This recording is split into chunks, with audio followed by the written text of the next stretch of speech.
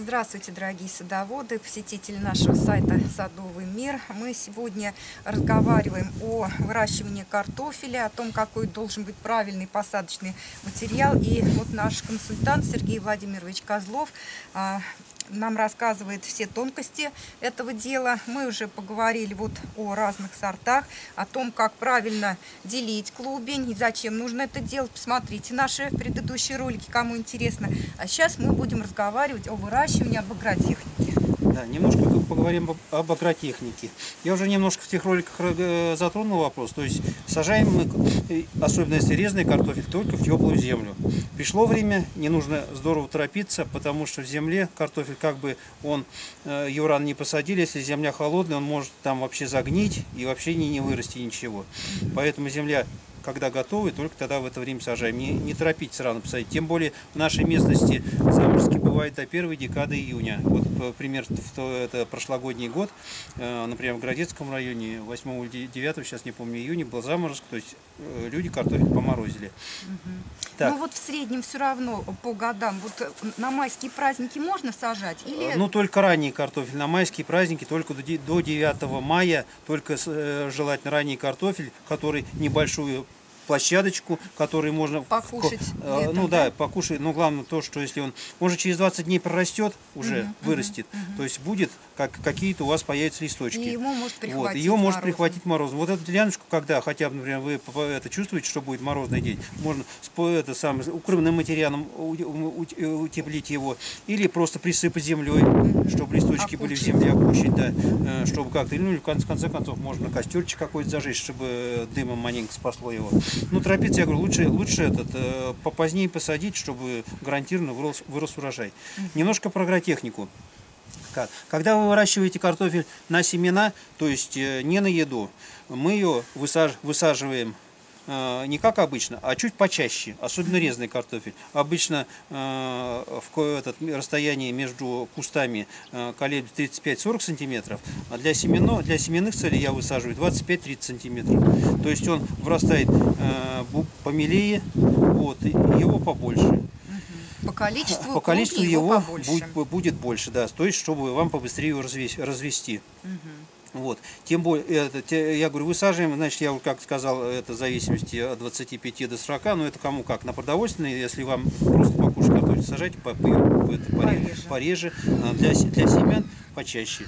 Теперь, междурядье, э, ну, э, что я как агроном могу сказать? То, что чем больше междурядье, тем лучше для картофеля. Он э, лучше проветривается, в нем не заставится влага, вот, э, не, не поражает. Да, солнышком лучше кустики э, его освещается, да, этот фитофтороз меньше этот, это в нем заводится. Ну, естественно, раз солнышко больше, значит, крахмал, крахмал в листьях накапливается больше. Идет ну, сколько фотосинтез. расстояние? Расстояние расстояние, ну, минимум 55, вот, э, максимум 75-80 сантиметров, вот где-то в этих пределах. Ну, в этих, я уже, как говорил, например, в хозяйстве выращивают 70 сантиметров между ряде, ну, а так обычно в, своей, в своем хозяйстве 60-70, вот так, в таких пределах выращивают. То есть его и хорошо и окучивать, и обрабатывать, а сорняков с ним лучше бороться. Теперь, э, что нужно ложить в лунку под картофель. Угу. Это самый распространенный, распространенный вопрос. Конечно, самый хороший, хорошая подкормка для картофеля, конечно, это перегной. Угу. Перегной, он нужен не только для того, чтобы э, картофель хорошо рос, но э, для повышения плодородия почвы, для накапливания в почве гумуса. Угу. Здесь существует такое понятие, как буферность почвы, то есть это способность перевари, переваривать в земле все, э, чтобы э, картофель и другие растения могли усвоить. То есть, если вот у человека был хороший желудок, он все переваривает, он и нормально живет. Если э, заболевания у желудка какие-то, то, то есть ему нужно есть определенная пища. А когда буферность хорошая, то есть он все переваривает. То есть гумус, чем выше процент гумуса, тем лучше переварит, это переварит все. То есть, если уж у кого нет достать проблема с, на, с перегноем, делайте его сами с травы, складывайте в кучку сухую траву, сырую траву, перемешивайте ее с какими-то кустарниками, добавлять можно облить немножко суперфосфатом, мочевиной, чтобы перегнивало всего. Еще в последнее время продается очень много удоб- удобрений э, бактериальных, как э, северное сияние, как это Байкал. То есть им можно обработать, чтобы там бактерии быстрее это все, все это быстрее разлагалось и способность была у, это, у, ра- у растений это все переварить. Вот. Из минеральных удобрений, если уж есть у вас этот самый, нет возможности ничего достать, и минеральное удобрение обязательно должно быть комплексное. То есть не один или два элемента, а должно быть три элемента. Обязательно это э, азот, фосфор и калий. Это обязательные компоненты, которые нужны всем растениям. И микроэлемент, желательно с микроэлементами. Магний, фо- фосфор там и все, все остальное прочее. Ну, порекомендуйте, вот что вы кладете. Ну, я в основном этот пользовался всегда, если уж вот это на питов, питомнике э, бро- бросал щепотку кемиры, сейчас она верника называется, удоб- фертика. фертика, да, э, вот, финское удобрение. Но из, из наших просто картофельные удобрения, прямо они сейчас вот э, комплексное картофельное удобрение для картофеля. Чи- Читайте. Единственное, опять же, э, никогда не, не кладите очень много. Лучше не докормить, чем перекормить. Всегда вот я беру вот что, что вот в щепоть помещается, вот лунку выкопали, например, под картофель, вот прям по всей, по всей, по всему конусу распыляете это удобрение. Не То есть щепотку да, щепотку и вот прямо этот самый, да, распределили. по всему конусу, чтобы он был везде, чтобы корневая система как бы питалась везде Равномерно. равномерно. Вот, ну лучше я говорю, если есть у кого перегной, ведро перегноя на литр золы. Перемешали с золой.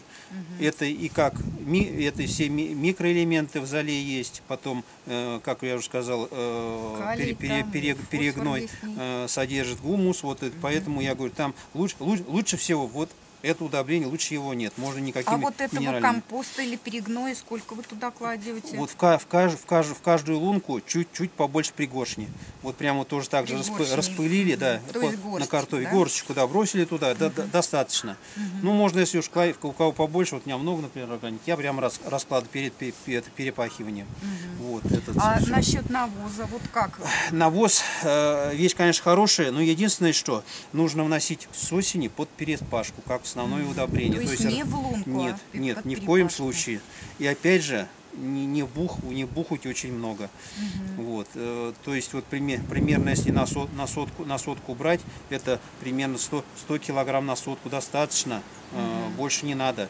Иначе просто особенно нужно сейчас в последнее время спецфабрик много этот, помета берут, особенно с куриным пометом. Нужно быть очень осторожно, иначе картофель сразу поражается э, паршой, будет весь у вас паршивый, не- некрасивый, э, проболеет обязательно очень глубоко, чистить его будет неприятно.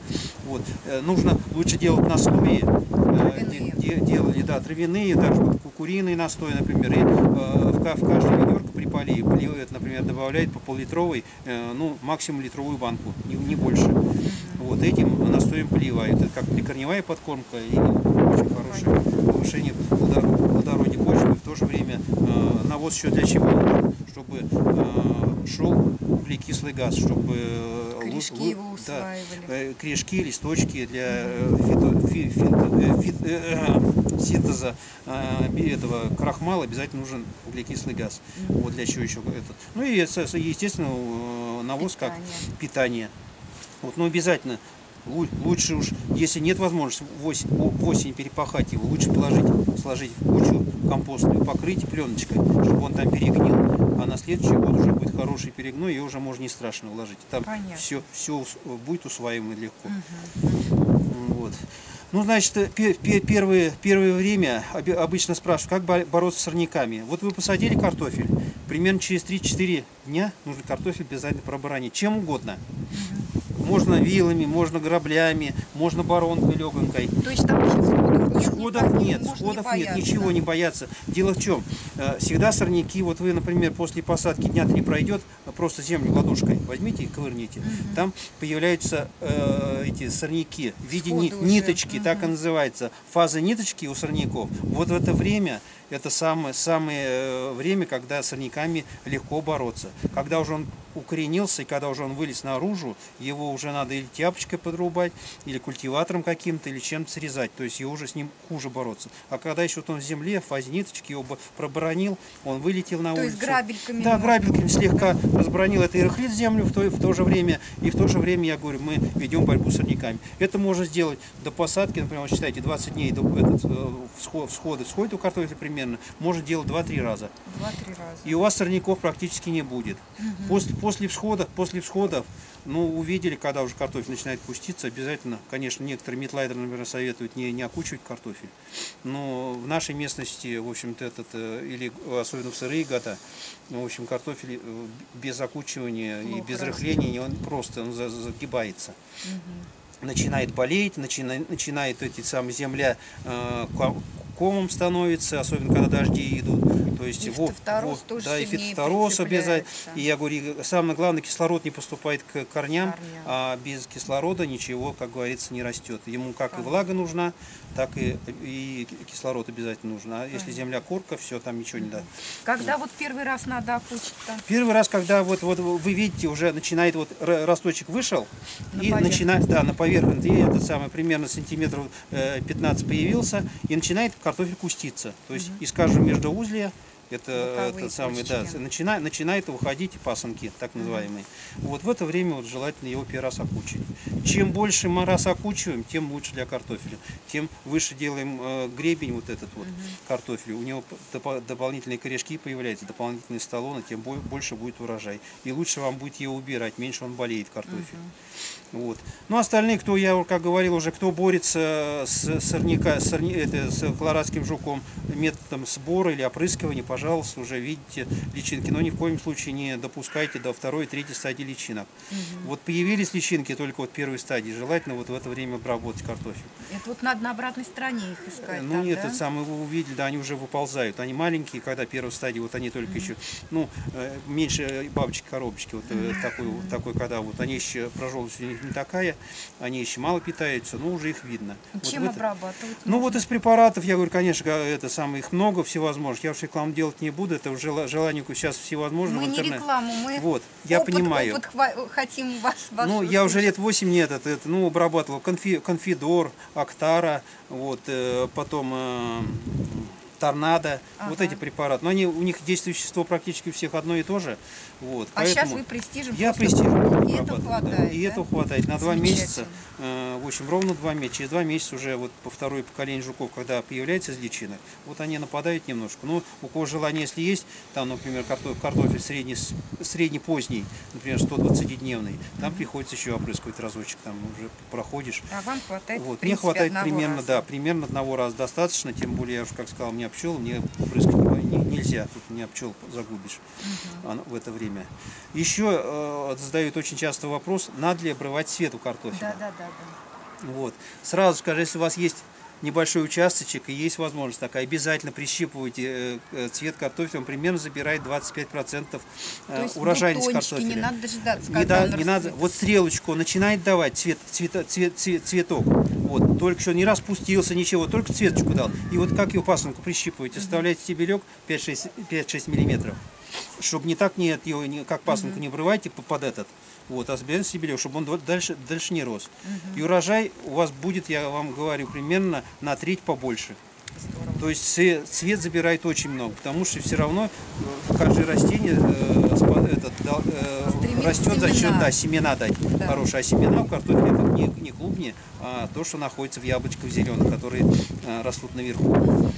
Ну вот так вот по основной агротехнику рассказал. Да, еще вот если, ну уж этот я уже немножко затрагивал, обязательно перед э, вы- выкапыванием картофеля, видите, ботва начинает засыхать, обязательно скашивать надо. Обязательно. За примерно не этот, не, не поленитесь, скосите, уберите ботву. Это, во-первых, спасет вас от заболеваний всевозможных. Во-вторых, я говорю, подержите, чтобы картофель после скашивания еще в земельке полежал недельку, э, ну лучше 10 дней, чтобы он окреп, чтобы он лучше хранился, чтобы он не поражался меланином. Вот очень очень часто многие спрашивают, почему картофель, картофель черный. Вот бывает такой, вот разрежаешь, а он черный. Это вот вещество, меланин накапливается в веществе, этот самый картофель. Он э, накапливается из-за того, что не вовремя убрали, плохо, плохо идет хранение, плохо чем-то обрабатывали, или много, много э, какого-то лишнего элемент, элемента положили, например, ка- калия или фосфора, или азота. То есть вот э, всегда долж- дол- должна быть гармония, всегда быть все как бы в этом, все в контрасте идти. Ясно. Вот. Вот еще у меня такой вопрос, обязательно зададут. Вот вы в луночку положили все удобрения, потом не подкармливаете Я уже? нет, мне просто уже этой возможности нет. Но и этот, э, в общем, подкармливать это единственное, что во время, во время полива. Так нам можно подкар, под- подкормить э, до этого, например, разбросать немножко в это в междурядье э, перегнойчику или чего-то и ее окучить. Окучить. Это, это будет, будет не хуже. Но у меня просто возможности не хватает иногда. Но я много вношу как основное удобрение органики. Поэтому я говорю, я уже этот, этим делом не занимаюсь. Просто времени хватает Ясно. иногда. Еще скажите, вот мы выкопали дальше картошку, что нужно сразу сделать? Как при Сразу, выкапывании... сразу при- в погреб ведь нельзя ее, Не да? надо. Э, При выкапывании, э, особенно когда земля очень сырая, пусть она у вас, э, но только ни в коем случае не день целый лежит на солнышке, а хотя, хотя бы часа 3-4 полежала, просохла. Просохла. Вот. Э, Значит, просохла картофель, убирайте ее куда-нибудь в помещение э, без света, ну, на, на- где-нибудь в гараже или где пусть она у вас лежит. И перед заморозками, вот у меня примерно до заморозка лежит, перед заморозками мы собираем всем семейством и картофель еще раз перебираем. Только после этого убира- убираем на хранение. Еще один вопрос такой часто задаваемый. Какой ка- картофель оставлять на семена? Да. Простой самый совет всем. Попался вам хороший куст картофеля. На нем 15-16 картошин, крупных, мелких, всевозможных. Положите все в ведро, оставьте все на семена. То есть Име- маленькие, име- большие? Да, и маленькие, большие, все на семена. Мы обычно оставляем вот на семена, вот такой картофель. А С разных кустов? Обычно, да, с разных кустов. Мы выбрали, как у нас ведь все, как раньше собирать. В кучу, потом с кучи отбираем на еду, на семена и мелочь. А Фрак- надо кустики фракция. смотреть. А надо смотреть обязательно кустики. Вот появился у вас хороший кустик, или там, вот, не поленитесь, положите ведро, в отдельный мешочек, оставьте все на семена. Всегда будет, будете с картофелем. Всегда у вас будет картофель. Крупный при посадке э, порезали, мелкий посадили целиком. Вот. Не стесняйтесь, вот даже вот такой клубе не всегда сажать по одной картошине. Всегда я вот со- советую всем сажать по одной, по одной картошинке. Посади, то- посадили, вот, и он, он всегда у вас вырастет. А вот у нас как получается? Я говорю, отобрали, вот большую кучу сыпали, отобрали, и вот обычно вот из такого картофеля потом ничего не вырастает. Вот э, все больные ку- ку- эти, э, э, эм, кусты, они вот выродят 2-3 картошины вот таких. И мы их оставляем на семена. Ну, Ни в коем случае этого не надо делать. Вот. Особенно, когда, вот, например, сорт нравится, вот, но чувствуете, что он выродился. Соберите самый крупный картофель, оставьте на семена из этого сорта. И потом его, прям вот как я вот говорил, прям порежьте, каждый глазочек вырежете. Нарциссов мне этот самый в институте говорил, академик, покойный свет.